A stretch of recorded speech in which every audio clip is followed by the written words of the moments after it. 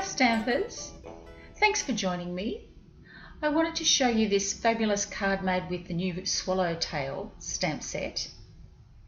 Here's the inside and it uses a couple of different techniques, embossing, bleaching and some glitter.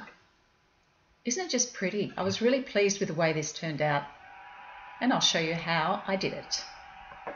You're going to need the En Francais stamp set, some Tempting Turquoise ink and Tempting Turquoise A4 cardstock cut in half. And I'm going to place the En Francais stamp set roughly in the centre of this piece of cardstock. I'll be cutting it down later so it doesn't really matter if it's perfectly square or not. Here's the beautiful swallowtail stamps and it's, isn't it absolutely gorgeous? Now I'm putting on some Versamark ink and just straightening that up and stamping that down into about the centre of where I've stamped the En Francais script. And I forgot to use my embossing buddy and you can see how it's really sticking here. Remember to use yours. Here's some black embossing powder in the heat tool. I'm just going to show you how it starts to really get nice and glossy.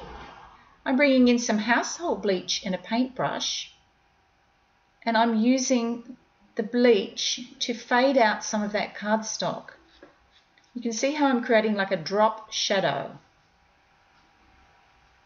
And I'm only using the bleach on some of the parts of the butterfly, leaving the center parts and those edges around the lower wings as they are, so that they'll remain dark.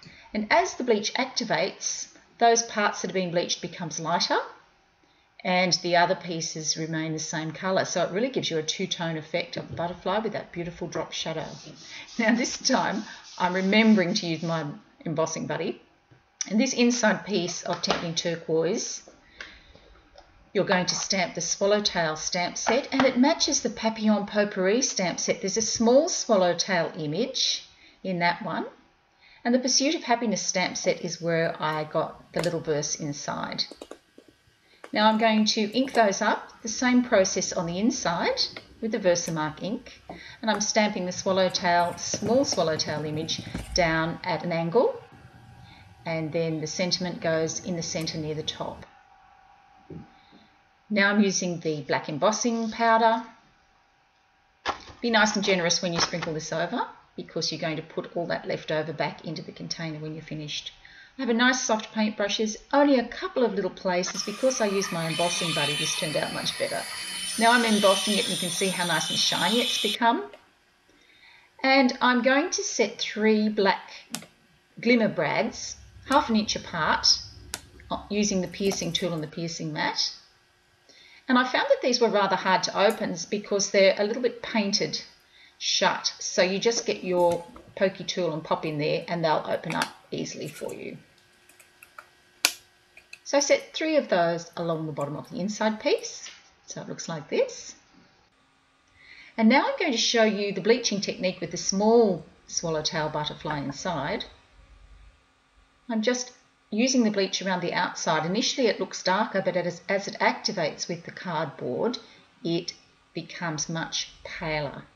And now I'm going to do that little drop shadow. This is what makes the butterflies look as though they are popping right off the page. It's a little artist's technique and it's really simple. Now that's going to dry. You can see how the bleach has activated and turned the paper a much paler shade of turquoise. And it's a good idea if you're doing this to have a practice on some scratch paper just to see how it's going to turn out. I was very happy with the results with the bleach on this paper and I also used it to test out the glitter techniques. I'm going to show you how to use the dazzling details and get a very subtle technique just by painting it on with a paintbrush so that it's all nice and flat. And less is more with this. It looks better the less you use. It just is a nice subtle approach, still very sparkling. Now you're going to adhere all of this to the inside of the card with sticky strip, uh, excuse me, sticky strip the same as the front piece. And isn't that just divine. I was so happy with the way this turned out. And I'll just bring it in closer so you can see all that beautiful detail.